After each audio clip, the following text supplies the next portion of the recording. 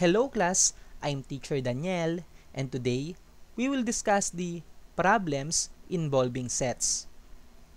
In this topic, we will use the Venn diagram so we can easily visualize the relationships between sets.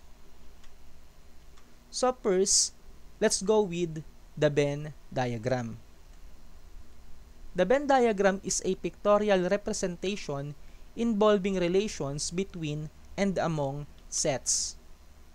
It is usually consists of a rectangle which is the universal set and the circle or circles which represent sets. It was named after its inventor, John Venn.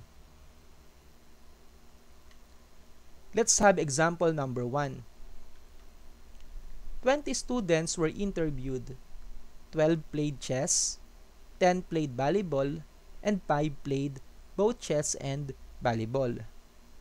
The questions are, how many students played chess only? How many students played volleyball only? And how many students did not play chess or volleyball?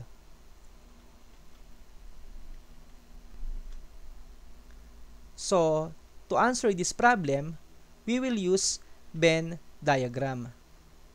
The rectangle represents the universal set and the two circles represent the two sets which are students who played chess and students who played volleyball.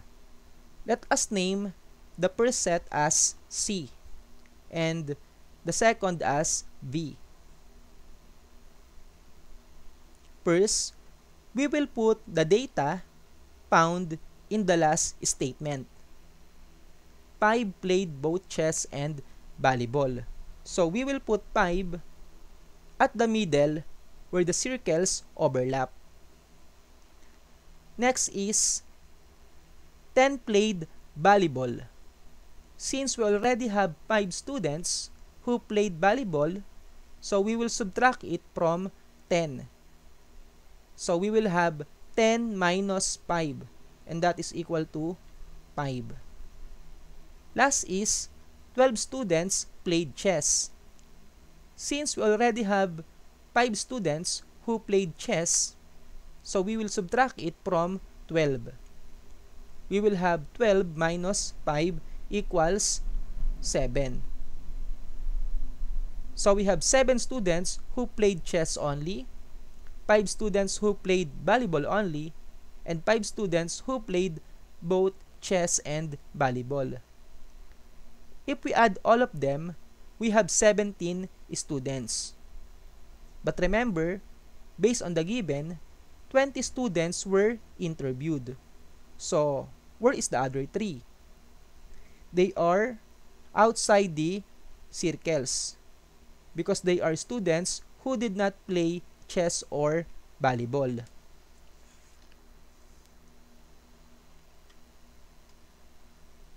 We already completed our data on the Venn diagram. So now, we can answer the following questions. How many students played chess only? The answer is 7 students.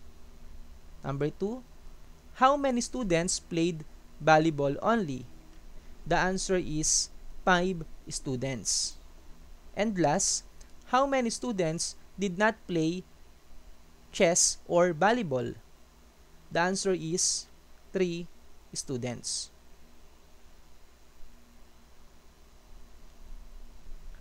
Next is example number 2. A group of 60 students were asked whether they eat or whether they watch Eat Bulaga or Showtime or both programs. 38, 38 of these students watch Eat Bulaga and 32 watch Showtime. The questions are How many watch It Bulaga only? How many watch Showtime only? And how many watch both news program?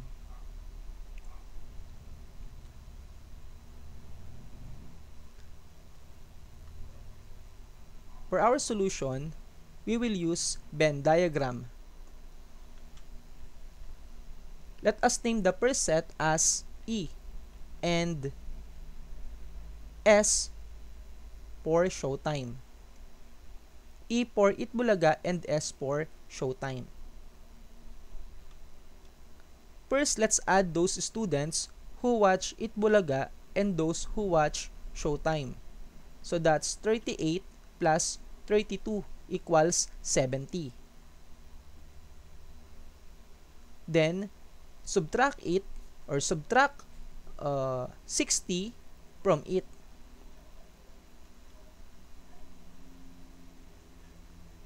Because there are 60 students in the set.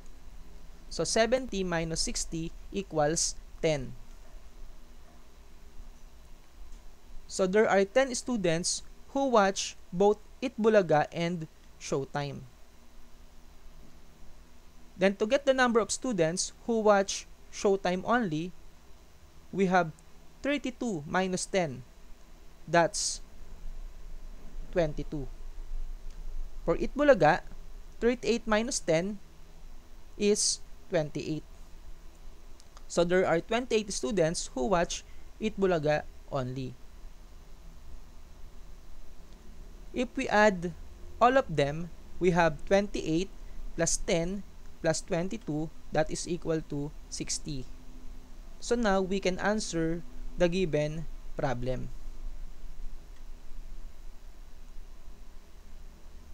How many watch Itbulaga only? There are 28 students who watch Itbulaga only. How many watch Showtime only? The answer is 22 students. How many watch both news program? The answer is 10 students.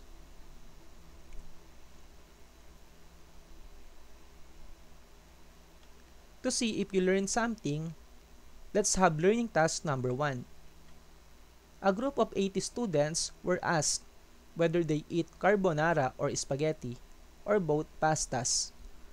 43 of these students eat carbonara and 52 eat spaghetti. Number 1. How many students eat carbonara only? Number 2. How many students eat spaghetti only? And number 3. How many students eat both carbonara and spaghetti?